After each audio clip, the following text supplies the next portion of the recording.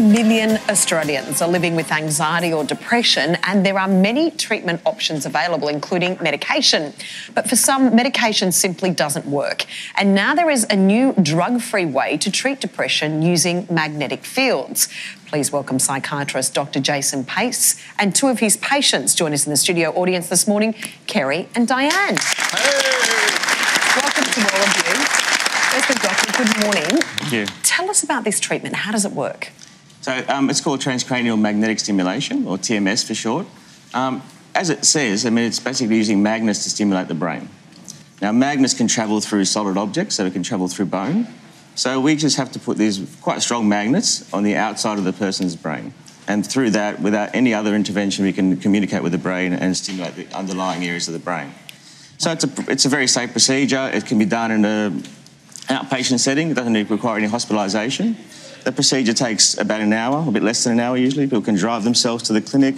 They, you know, have the treatment, and then they go on and do work and do their re- regular everyday activities. Mm. Can I, say, I mean, this. Sound, I'm not a doctor, obviously, but this sounds like something out of a science fiction movie or, at, you know, at worst, quackery. Is it? What is the science behind it? How does it actually? So TMS was invented about 1985. So there's about 20 years of research on TMS and depression. So it's actually a very, very long-standing history of, uh, of research in this area.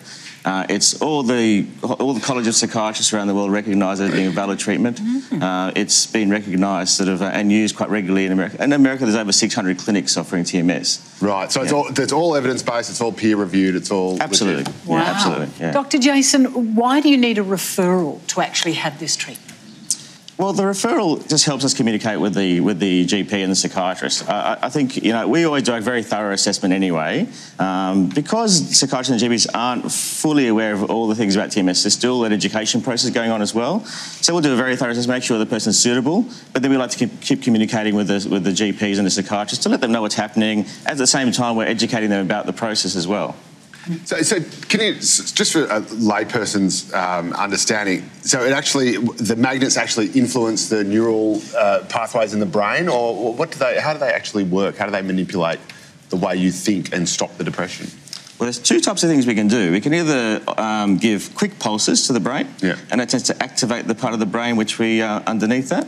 Or we can actually use slow pulses to actually slow down parts of the brain. So we can sort of turn on or off the brain depending on what we, what we need to do. So if you've got anxiety, for example, and your brain is sort of firing on all cylinders, you can slow it down. Exactly right. So I was actually reading something about this about OCD. There's some research now looking at OCD, and you can actually use a slow pulsing to slow down parts of the brain. But in depression, we tend to use the, the fast pulsing side of the To thing to kickstart. activate the underlying sort of prefrontal cortex area. Wow. Wow. As we mentioned earlier at the top of this interview, we have two of your patients in our studio audience this morning. Now, they've had the treatment. Let's chat to Kerry first. Kerry, what made you seek out this treatment? Um, well, I found that medication really wasn't working for me, and two of my family members had had TMS before, so I thought I'd give it a go. Wow. And what did it feel like?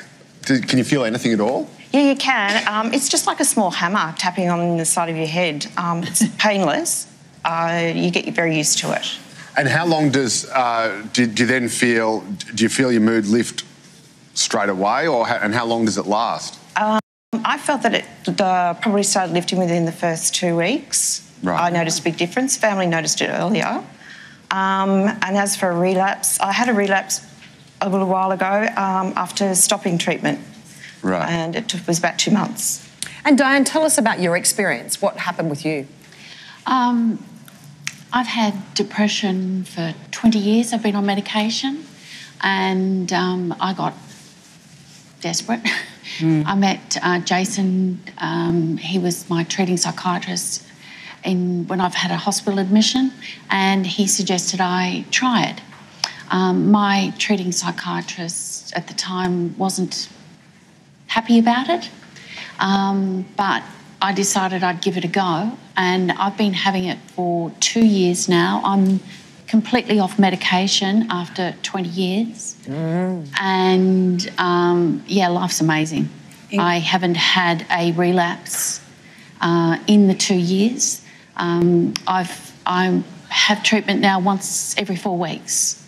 I just pop in and have a little top up, and um, it's just been amazing, fabulous. That is extraordinary. Diane, you're also off medication, I understand. Yes. Um, and and you, you mentioned, Diane, that your uh, psychiatrist wasn't happy with it. Is, is it divided in the psychiatric world or the medical world more broadly as to whether this works? Are there two schools of thought?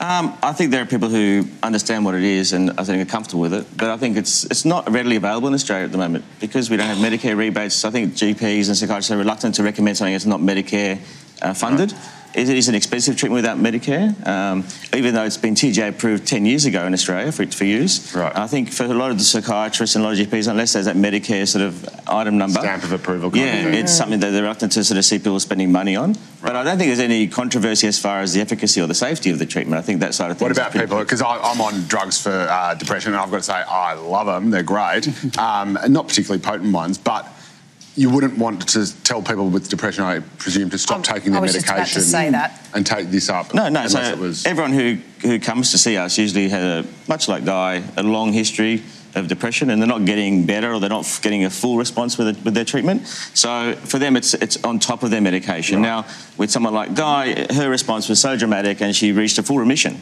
you know, yeah. within within a period of time. So then we would negotiate, you know, with her a slow withdrawal of the medication. Right. So it's a bit like going from one medication to another medication. You sort of tend yeah. to sort of overlap to some degree. So the TMS always gets started. If there's no response, we don't touch the medication. If there's a good response, then we have to look for opportunities to reduce or even stop the medication down the track. And Joe makes an excellent point. Don't stop your medication. That's right. Make yeah, don't sure stop, don't you, stop you taking your pills. and right advice, and it's all done under correct yeah. observation. If you'd like to find out more information about transcranial magnetic stimulation, you can talk to your GP and to see if it could be a suitable treatment for you. Dr. Jason Pace, Kerry and Diane, thank, thank you. you so much for joining us.